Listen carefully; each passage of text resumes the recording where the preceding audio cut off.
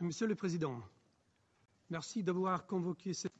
Господин председатель, спасибо за созыв этой встречи для обсуждения текущего положения на Украине.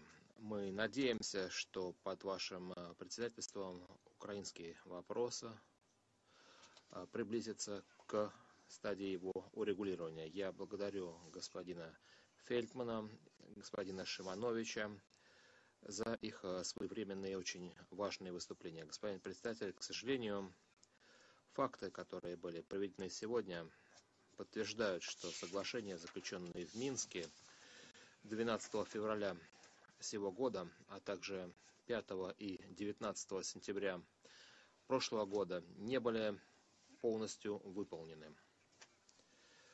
Вооруженные группировки и пророссийские группы продолжают свои нападения на контрольные пункты украинских вооруженных сил, а также на гражданских лиц.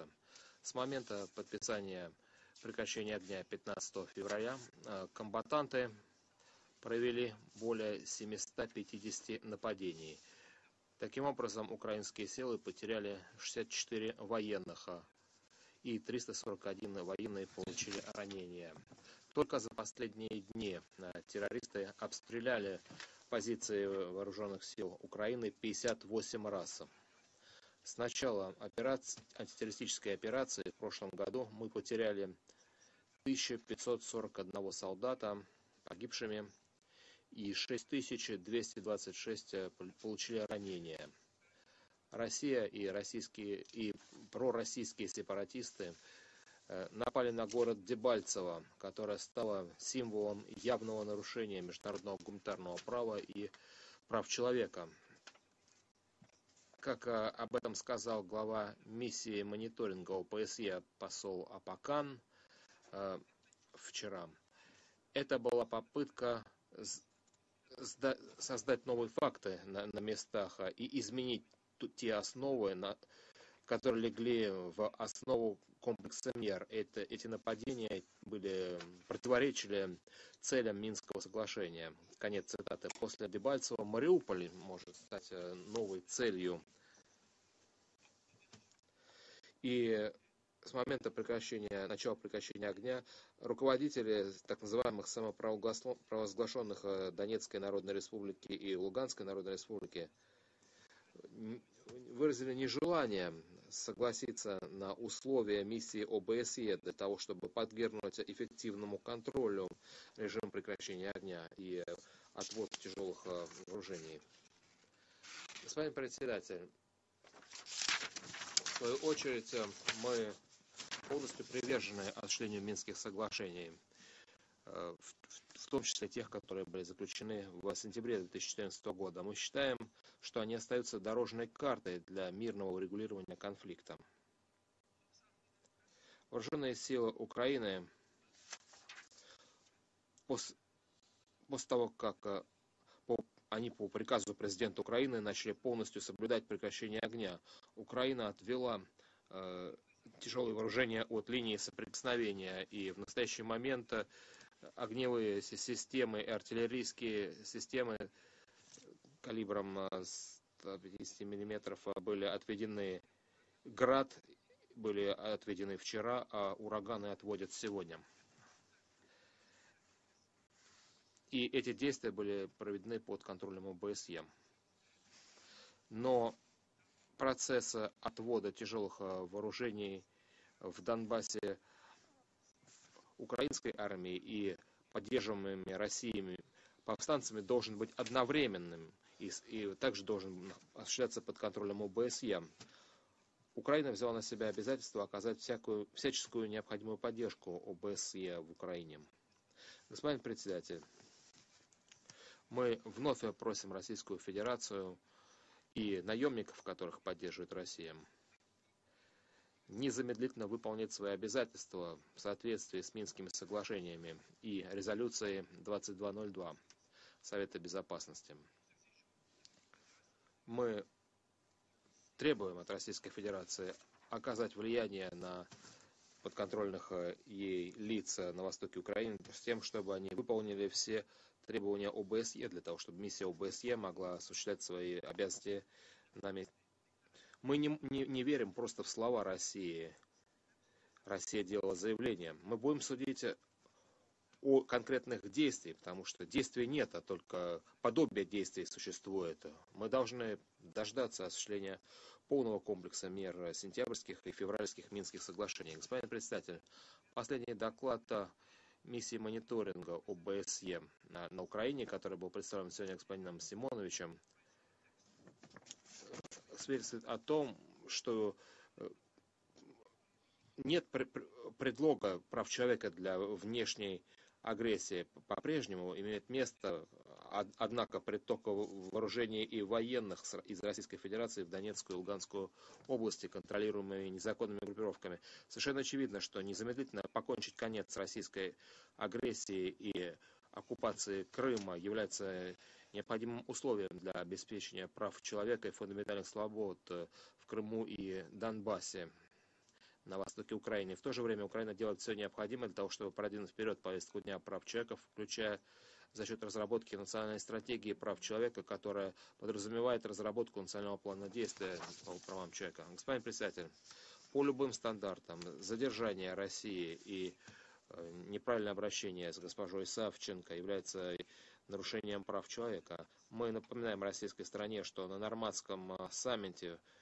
12 э, февраля Стороны договорились, что все э, военнопленные и незаконно задержанные лица должны быть освобождены в течение 19 дней. И это полностью распространяется на Надю. Мы просим Россию выполнить свои обязательства и незамедлительно освободить госпожу Савченко и других украинских заложников. Моя делегация благодарна многочисленным государственным организациям за их четкие призывы к незамедлительному освобождению Савченко. Мы вновь протестуем против продолжающихся попыток российскими властями сфабриковать новые обвинения в адрес украинских политических э, заключенных, среди которых Олег Сенцов и Александр Колченко.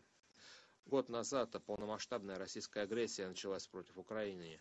Украины даже не стоит напоминать уважаемым членам Совета, как э, была осуществлена оккупация и аннексия Крыма, как обстоят э, права, ситуация с правами человека на оккупированных территориях э, в настоящий момент.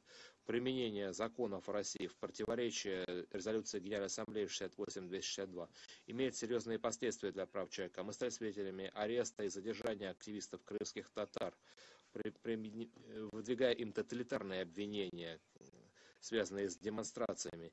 Деятельность гражданского общества и СМИ была прервана на необоснованных, э, по необоснованным причинам обвинению в экстремистской деятельности.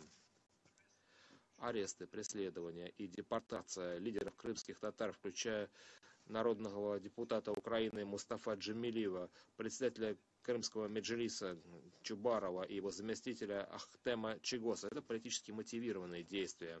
Более 10 тысяч крымских татар были вынуждены покинуть Крым и переехать э, на основную территорию Украины. Это самый серьезный удар по крымским татарам после депортации, проведенной Сталином. И Совет должен отреагировать на это. Ни при каких обстоятельствах э, он не может согласиться с тем, что Россия превратила Крым в изолированный военный лагерь, а резидентов в заключенных. Мы призываем обеспечить выполнение международных договоров по правам человека а также рекомендации миссии по правам человека. Э, эти положения должны выполняться Россией и администрацией, которая была э, установлена в Крыму после оккупации. Мы э, призываем соблюдать права человека на полуострове. Господин председатель, более 6 тысяч погибших, погибших, тысячи раненых, более миллиона ВПЛ. Такова людская цена, которую заплатила Украина за российскую интервенцию правительство Украины делает все необходимое для того, чтобы урегулировать, урегулировать кризис. Мы высоко ценим усилия ООН, в частности, э, э, создание плана гуманитарного реагирования в 2015 году.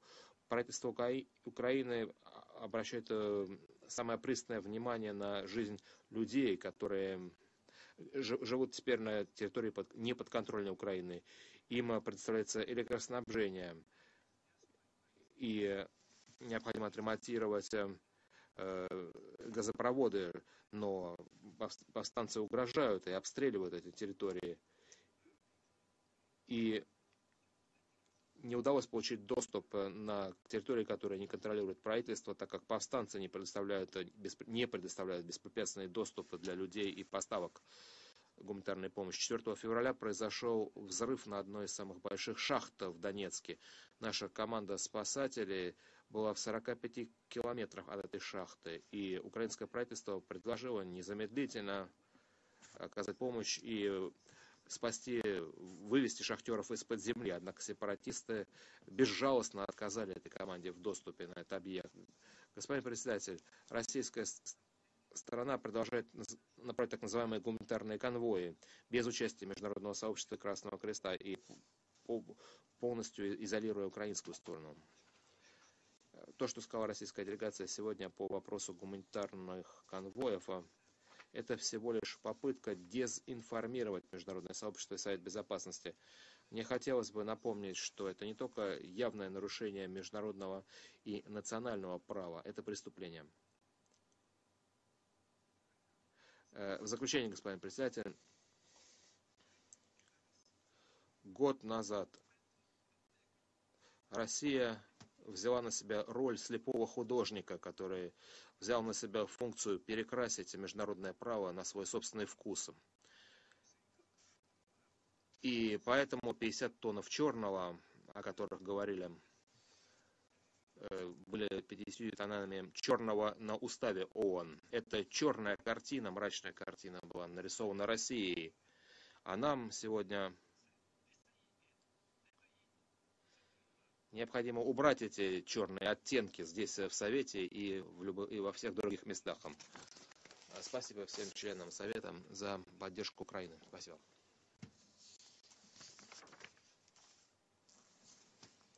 Я благодарю э, представителя Украины за э, его выступление.